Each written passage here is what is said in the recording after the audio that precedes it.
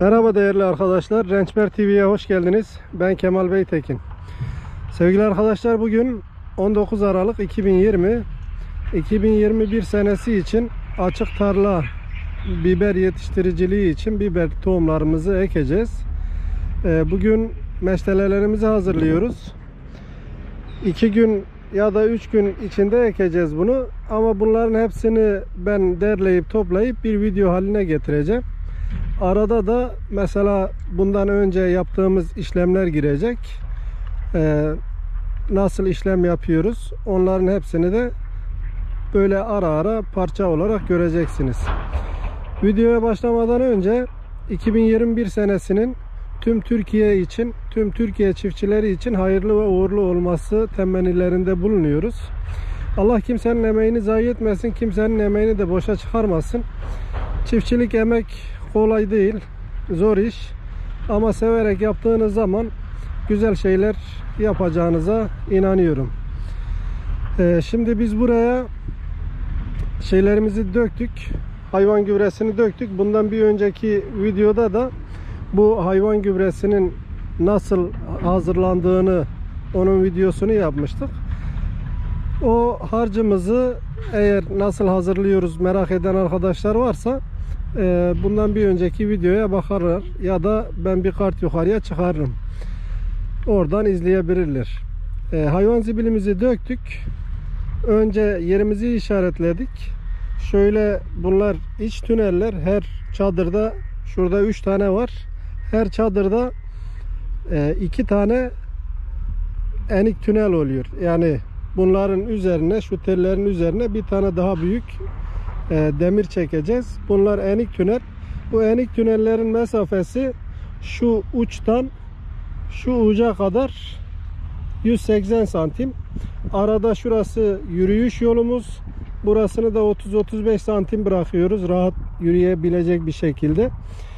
Ee, ondan sonra bu tarafta yine buradan buraya kadar da yine 180 santim şeklinde yapıyoruz. Uzunluğu ise o sizin naylonunuza ve tünelinize bağlı. 17 metre en idealidir. Bizim tüneller 18 metre. 20 metreleri bulduğunuz zaman, 25 metreleri bulduğunuz zaman bu baş taraflardan biz hava veriyoruz ya. Baş taraflar iyi hava alıyor, ortalar hava almıyor. Fidesi kalitesiz oluyor. Bu nedenle 17 veya 18 yaparsanız çok uygun olacaktır. Ee, önce zibilimizi döktük. Daha sonra bunun üzerini tırmıkla Mehmet Emin öbür tarafta tırmıkla düzeltiyor. Arkasını da şöyle tahtalar yardımıyla e, tesviye ediyoruz. Çukuru, tümseyi kalmasın. içindeki çıkan kersekleri de şu kenara atıyoruz. E, gübrenin kalınlığına gelecek olursak da şöyle bir güneşe geçeyim. Bakın şurası ana toprak. Yani kalınlık 3 parmak yaptığınız zaman gayet ideal olur arkadaşlar. Daha sonra bunların üzerine e, bir tünel çekeceğiz. En üstte de bu gördüğünüz büyük naylonlardan 6 metre 40 santim 14'lük yarım ay şeklinde demirlerimiz var. Onları dikeceğiz. Peki niye bu iç tünelleri yapıyoruz? Bu iç tünelleri yapmamızın sebebi de e, bitkimizi, tohumlarımızı oluşabilecek don zararlarından korumak. Fide çıktıktan sonra şu tünellerin sayesinde altta daha demirler olacak. Şöyle tam şeklini e, bitince göreceksiniz. E, o tüneller çekili olduğu zaman eksi 6 derece, eksi 7 dereceye kadar içindeki bitkiler muhafaza oluyor ve dondan zarar görmüyor.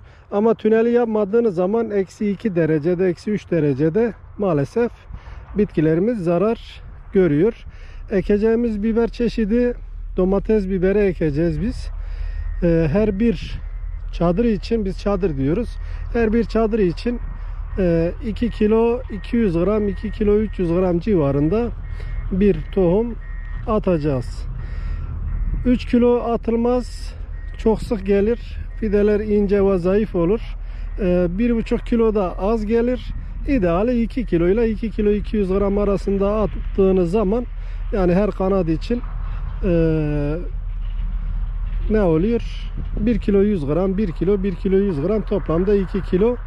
E, toplamda ise genelde 6,5 kilo civarında bir tohum kullanacağız arkadaşlar. Tohumumuz standart tohum. E, fidelerimizi kendimiz yapacağız. Daha sonra e, şaşırtma işlemi olacak. Yaklaşık olarak burada bu tohumu ektikten sonra bir 40 gün 50 gün civarında kalacak. Daha sonra viyollerimizi yapacağız. Buradan söküp viyollere şaşırtma işlemini yapacağız. O videolar Allah nasip ederse, ömrümüz yeterse onları da tek tek hepsini çekip ince detayına kadar sizlerle paylaşacağız inşallah. Amacımız gayemiz e, bildiklerimizi paylaşmak. Değerli çiftçilerimiz ile, Türk halkı ile insanlık namına yararlı bir şeyler yapmaya gayret gösteriyoruz. Bildiklerimizi de samimiyetle anlatıyoruz. Umarım faydalı oluyordur diye düşünüyorum. Ee, bu video biraz uzun olacak. Şimdi ben burada keseceğim. Yine arada e, işlemler sırasında e, yeniden kayda geçip yeni e, en son bir montaj işlemi yapıp paylaşacağım. E, daha önceki senelerde genelde iki bölüm şeklinde yapıyordum sıkılmayın diye. Ama e, bir bölümü seyreden bazen öbür bölümü bulamıyordu. Şimdi hepsini tek bölümde yapacağız. Bir yarım saatlik bir video olabilir. Dikkatle izlemenizi tavsiye ederiz. Şimdi yeri gelince diğer işlemler gelince hem uygulamalı olarak anlatacağız. Bundan sonra sulayacağız. E, ekmeden önce e, bir ilaç atacağız. Karınca için, mantar hastalığı için, haşere için e, başka hangi işlemleri yapıyorsak hepsini sırasıyla çekip e, uygulamalı olarak o zaman anlatacağız. Şimdilik ben bir ara vereceğim. Daha sonra yine devam ederiz. Arkadaşlar e, biber tohumlarımızı serptik. İki çadırı dağıttık. Üzerine toprak attık. Bu çadırı da dağıttık. Bir tarafını toprak attık. Şimdi şeye bir gidelim. Üstünü daha toprak attım, atmadığımız bölüm. Bunlar da tohumlarımız. Şimdi tohumların sıklığından bahsetmek istiyorum. Ee, her bir çadır için 2 kilo 200 gram, 2 kilo 300 gram civarında tohum attık. Bunlar sonradan şaşırma yapmak için, viyol için arkadaşlar. Şöyle bir TL'yi de katayım. Ona göre bir ölçü olur. Yani şu bir TL'yi gördüğünüz zaman bu şekilde bu sıklıkla ekiyoruz. Metrekareye, metrekare cinsinden e, 1 metrekareye 30 gram civarında bir tohum atıyoruz. Tekrar ediyorum bunlar şey için e, şaşırma yapmak için, viyole almak için ama direkt tarlaya ekilecek olanlar bunun yarısı olması lazım. Metrekareye 15 gram, 18 gram civarında toprak atılmalı. E, bundan önce hangi işlemleri yaptık? En son şey yaptık. Bunu da alayım. Ektiğimiz tohumu da şöyle bir göstereyim. Domates biberini ekiyoruz.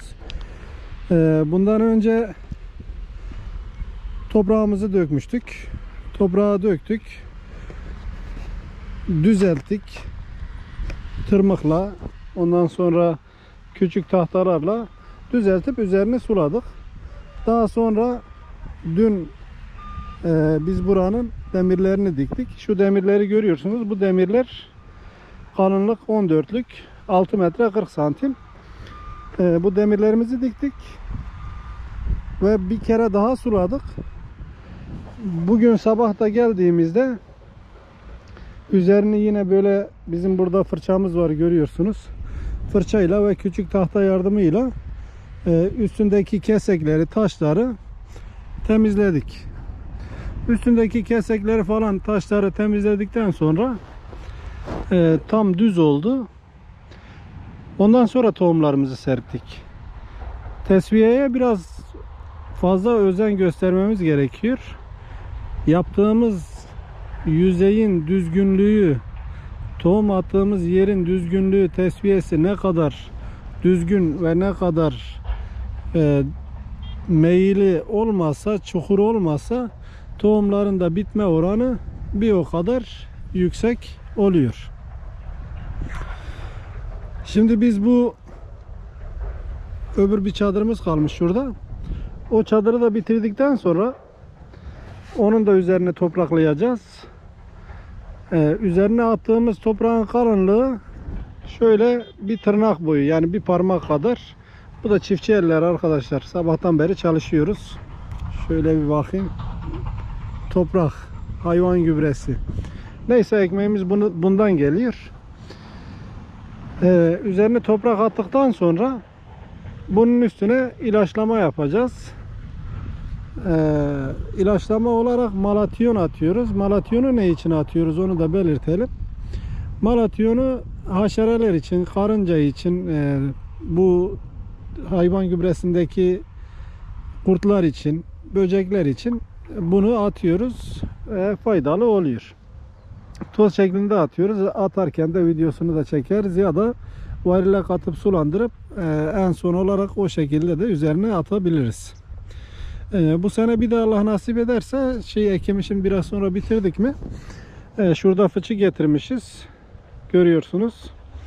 E, o fıçının içine 200 litreye 1 kilo civarında bir solucan gübresi katıp en son üstüne serpeleyeceğiz. Toprakta bakteriyel canlılığın mikro, mikroorganizmaların çoğalması için faydalı canlılığın çoğalması için e, onu yapacağız. Toprağı bu şekilde aşılamış olacağız. Daha sonra da en son işlemler bittikten sonra bu tüneller, tünel demirlerini dikeceğiz. Tünel demirlerini dikip iç naylonunu da çektikten sonra dış naylonumuzu da çekip kapatacağız. Üzerine attığımız toprağın kalınlığına gelince bu da yine aynı gübreden kullanıyoruz. Fakat bunu eliyoruz arkadaşlar. Bir oraya gideyim. Ee, kalınlık dediğim gibi bir tırnak boyu kalınlık. Fazla bir kalın yapmıyoruz. Ee, çok kalın olursa tohumlar bitmez. Az olursa tohumlar dışarı çıkar. Ee, bunun için 2 santim civarında 1,5-2 santim civarında bir kalınlık yeterli olacaktır.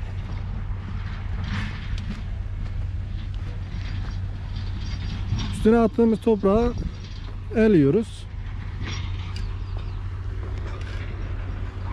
Elek bu şekilde kalınlık 2 santim 2 2'ye 2 zannedersem 2'ye 2 bir elekle bunu eliyoruz ve şu şekilde de üstüne atıyoruz. Şimdi yapmamız gereken işler var. Ee, orayı bitireceğiz. Orayı bitirdikten sonra diğer işlemler yaptık sıra e, çekip araya katacağım.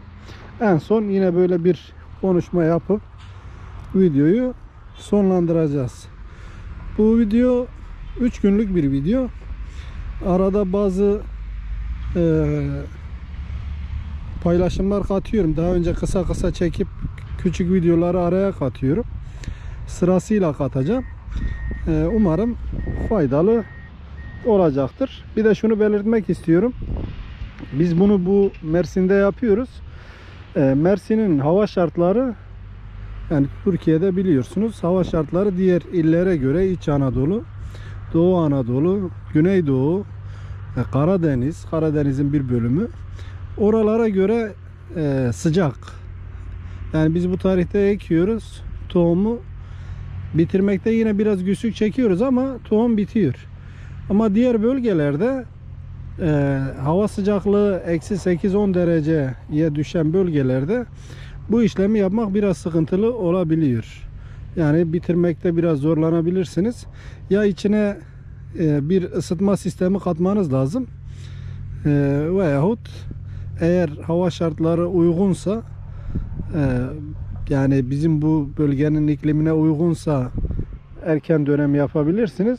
Yoksa ilkbahar donlarının, ilkbahar son donlarının bitmesine birkaç gün kala e, bunu bu şekilde yapabilirsiniz. Aksi takdirde erken yaptığınız zaman e, hava sıcaklığı eksi 8 onları görürse e, tohumu bitirmek bayağı meşakkatli oluyor. Çift tünel de yapılsa burada 10 günde bitecek tohum. Orada 25-30 günde bitmeyebilir. Artı çok da fire verir. Zaten 25 günden fazla kalan tohum e, çok fire veriyor. Yani normal e, biz burada da ektiğimiz zaman eğer bizim tohum 15 gün içinde bitmiyorsa 20-25 günleri gördüğü zaman %40 %50'lere yakın fire veriyor. Genelde de 25 günden sonra bir aydan sonra da tohum e, genelde çıkmıyor. Nadiren çıkıyor ama dediğim gibi hava şartları bunu belirleyici en büyük etken. Şimdi çalışacağız. Yine videoya ara vereceğim. Daha sonra ki işlemlerde yine devam edeceğiz. Arkadaşlar ekim işimiz bitti. Toprağı üstüne attık. Ve ilacımızı da attık. Attığımız ilaç toz ilaç. Malation atıyoruz. Toz malation. Bu ilaç haşerelere karşı, karıncaya karşı, kurtlara karşı bayağı bir faydalı oluyor. Şimdi bunun üstüne suluyoruz. E, hızlı geçiyoruz. Fazla göllendirmemeye çalışıyoruz. Daha sonra bir kontrol edeceğiz. Böyle açığa çıkan taneler varsa eğer onların üzerine biraz daha toprak atıp açık yerleri işlemimiz bitmiş olacak. Bir bakayım hele bu küçük su motoruyla varilde şey yapacaktım. Solucan gübresi de atacaktım üstüne. Becerebilirsem onu da yapacağız. Beceremezsek makineyi çalıştıramazsak onu yapmayacağız. Şimdi şurada da bizim değişik değişik biberlerimiz patlıcanlarımız var. Bunların hepsi değişik alanlar. Kimisinde patlıcan var, topak patlıcan var, uzun patlıcan var, acı sivri biber var, tatlı sivri biber var, biraz jelipon biberi var. Gerisi hepsi şey, ee, neydi domates biberi. Buraya da ekmedik daha. Buraya da bir 100 gram Charleston tohumları gelince 100 gram ondan ekeceğiz. Yılbaşından önce gelecek dediler. Ekim bu şekilde. Son işlemi de yaptıktan sonra üstüne altına naylon çekeceğiz. Şu telleri görüyor musunuz bilmiyorum. Böyle. Altına bir tünel, bu tarafına bir tünel, üstte bir tünel. Şimdi hatırlamak, hatırlatmak anlamında bir daha tekrar ediyorum. Şu büyük demir bu köşeden o köşeye 4,5 metre. Bu içindeki şu demirden bu demire kadar e, 180 santim. Arada yürüyüş yolu var 30 santim. Öbür tarafta yine 180 santim. Her iki demirin arasında da şöyle görüyorsunuz bir boşluk var yani 25-30 santim var. Çünkü bunun naylonu bunun naylonu bu naylona değmemeli. Bu naylon bu naylona değdiği zaman pek bir fonksiyonu kalmıyor. Bu şekilde işte. Çok uğraştık bayağı yorulduk. 3 gündür uğraşıyoruz. Ama kolay değil tabi burada yaklaşık olarak 550-600 bin adet fide olacak biz bu fideleri daha sonra büyürlere şaşırtma yapacağız bazı yerlerde direkt böyle ekip tarlaya da götürülüyor ama biz o şekilde yapmıyoruz. Bizim için biraz erkencilik önemli olduğu için çünkü burası Çukurova. Çukurova'da erken malı çıkarmak gerekiyor. Şimdi bundan sonra ne yapacağız dedik. Bundan sonra da işte az önce belirttiğim gibi üzerine açılan yerlere toprak atacağız. Yapabilirsek bir solucan gübresi fıçıyı getirdim bak orada Bir de küçük bir inçlik bir motor var. Onunla suyu çekiyoruz. Ee, bu arada oraya da gidin de onu da görürsünüz. Kanaldan suyu çekiyoruz. Bir inçlik biraz bakım istiyor. Arada bir tekleme yapıyor ama şu anda işimizi görüyor. Normalde yoksa kocaman Lombardini'yi getirecektik. Ama bu işimizi görüyor. Motorun yanında ses fazla geleceği için şimdi bir susalım.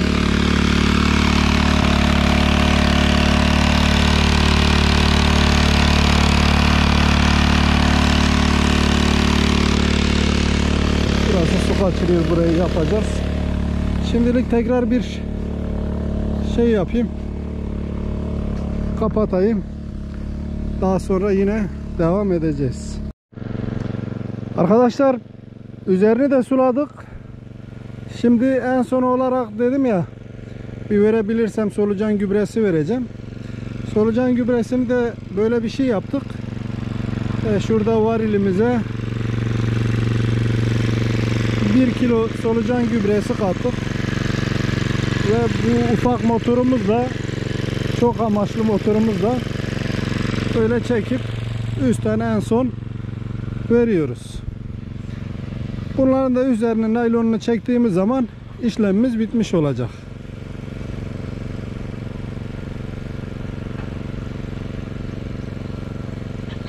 Bu solucan gübresi ne işe yarayacak? Ee, daha iyi çimlenmesini sağlayacak ve topraktaki canlı mikroorganizmanın çoğalmasını sağlayacak. Bakterilerin çoğalmasını, faydalı bakterilerin çoğalmasını sağlayacak. Ama öyle şey değil yani böyle e, sihirli değnek değil. Yardımcı bir eleman diyebiliriz. Ama faydalı bir eleman.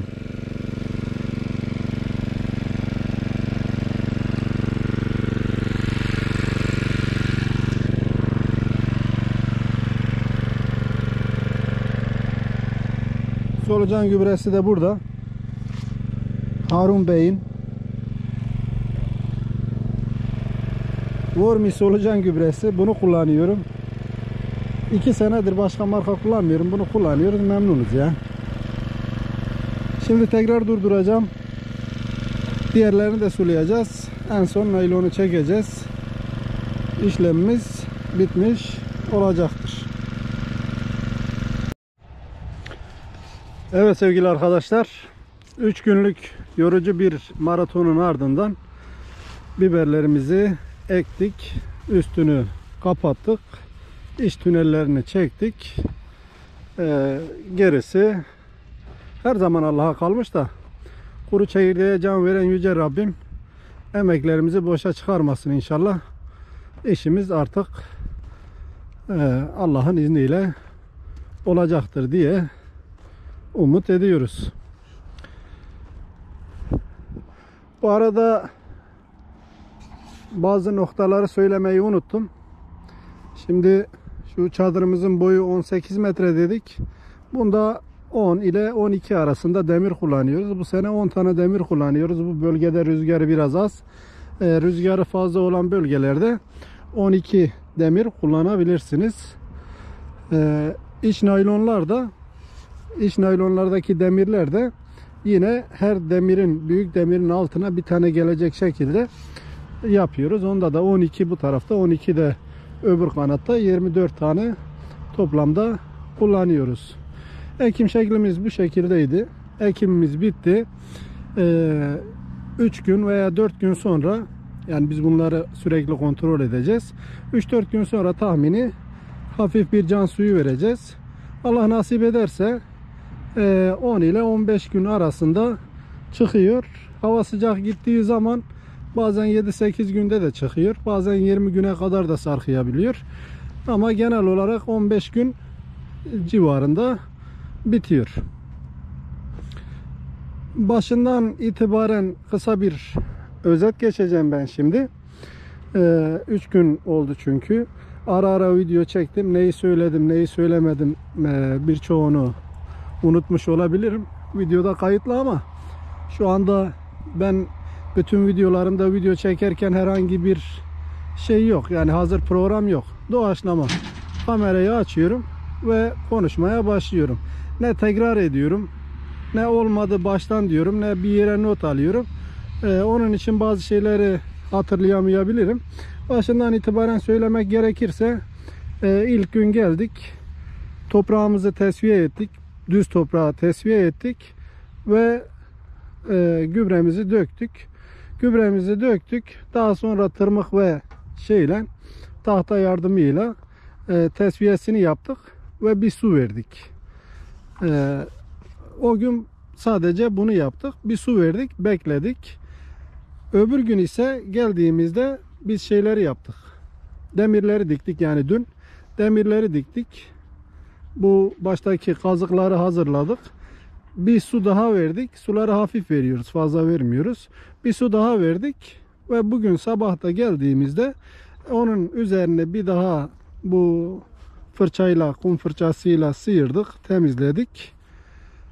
Tahtayla düzelttik. Tohumlarımızı serptik. Tohumlarımızı serptikten sonra üzerine daha önceden hazırladığımız, elemiş olduğumuz harcımızdan 1 ile 2 santim bir parmak boyunda gelecek şekilde üzerini kapattık. Üzerini kapattık güzelce her tarafa eşit bir şekilde. Daha sonra ise e, üzerini bir daha suladık. Bir daha suladık. Açığa çıkan tohumlar olan yerlerde biraz daha toprak getirdik. Onların üzerini de bir daha kapattık. E, pardon bu arada şeyi atladım.